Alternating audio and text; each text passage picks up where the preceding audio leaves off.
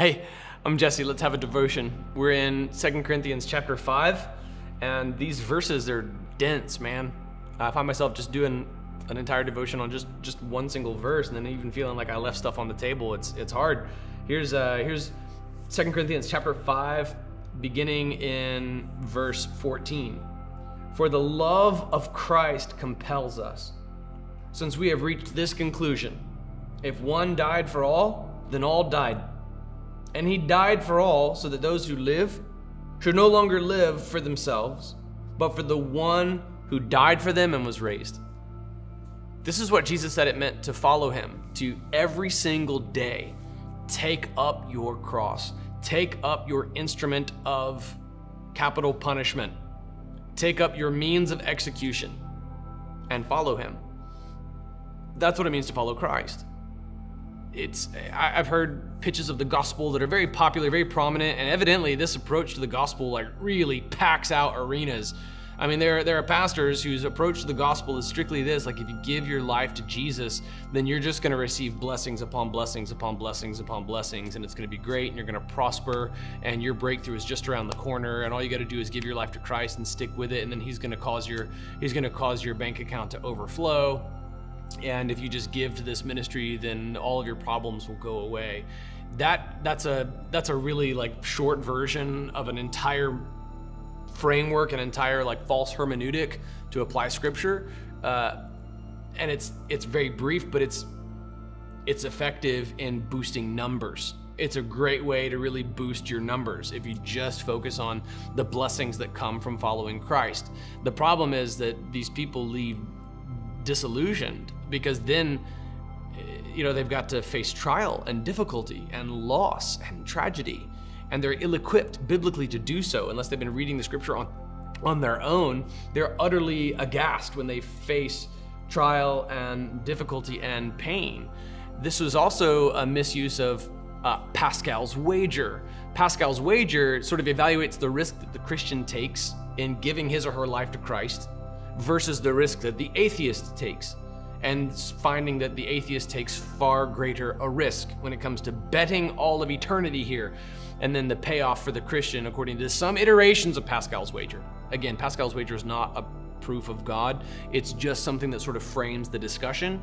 But Blaise Pascal, this French philosopher, put it this way that the Christian, the Christian takes less of a risk, whereas the, the atheist is betting it all on there not being a God modern versions of Pascal's wager would go on to say, but then the Christian also gets fellowship with other believers, and there's all sorts of advantages to that. Uh, you get you're not living life alone. You have your small group, and you have your friends. Your ride or dies through thick or thin, and there's some there are benefits to getting together in groups of people and singing songs. It creates unity, and it gives you endorphin rushes, and and then you also have the other sort of advantages in the business world, in the political world, because you have these connections through church, and and it's just good to have friends. It's good to be in the church. It's good to experience the Holy Spirit of God. Of course, that's good, but it emphasizes all the goodness that comes from following Jesus. And the the the the way that our atheist friends applied that was say, hey, cool, then we'll start our own churches. And for a while there, I don't know if they're still around as much, but there were these atheist mega churches that would get together and sing Beatles songs. and they were like, oh, that's all there is to Christianity, then let's take that, let's do that. The truth of Christianity is that it will cost you everything. That to follow Christ is to take up your cross daily.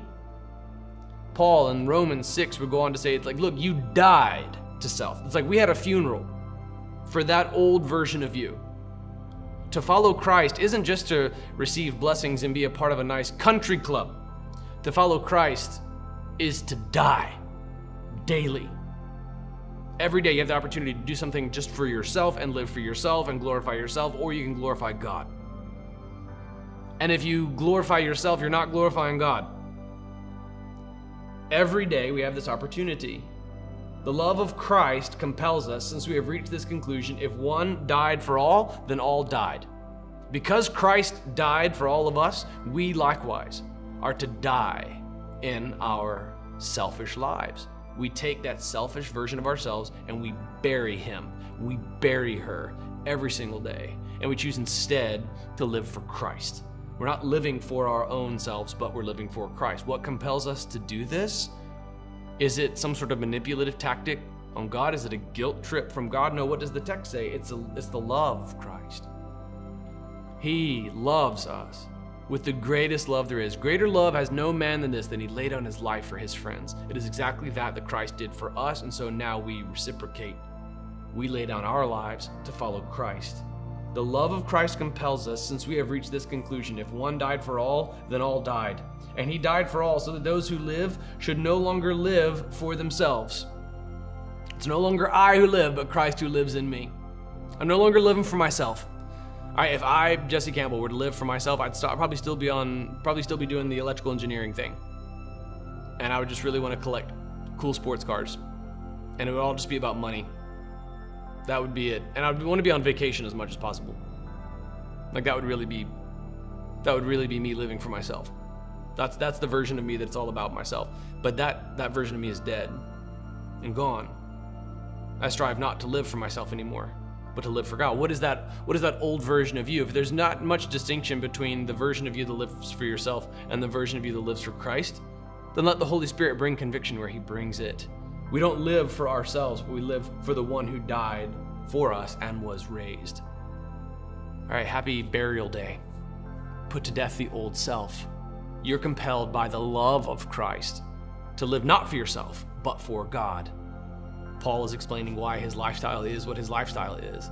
He'd come under scrutiny by the super apostles, and he chose to live this destitute lifestyle marked by pain and suffering, which he'll catalog when we get to chapter 11 in brutal detail. But he's doing this because he doesn't live for himself. His life is worth more than just Paul. Your, your life is worth more than just you. There's far more to your life than having a well padded 401k. There's more to your life than having a, a great real estate portfolio. There's more to your life than having a luxurious vacation once a month. That, that's that may be success by worldly standards, but if we give an account before God at the end of our days and all we have to show is a Roth IRA that was well tended, we failed. That's a failure of a life. Rather, we don't live for ourselves. The demarcations of success in the Christian life are actually self sacrifice what we have sacrificed and then we live instead for God. This is the demarcations of success in the Christian life. God's hand upon our lives, the fruit that we bear for his kingdom. It's not for our own glory, it's for him. We are dead. He is alive. Every single day we take up our cross and we follow Jesus. That means we put to death the selfish ambition. And instead we take up the cross of Christ every single day.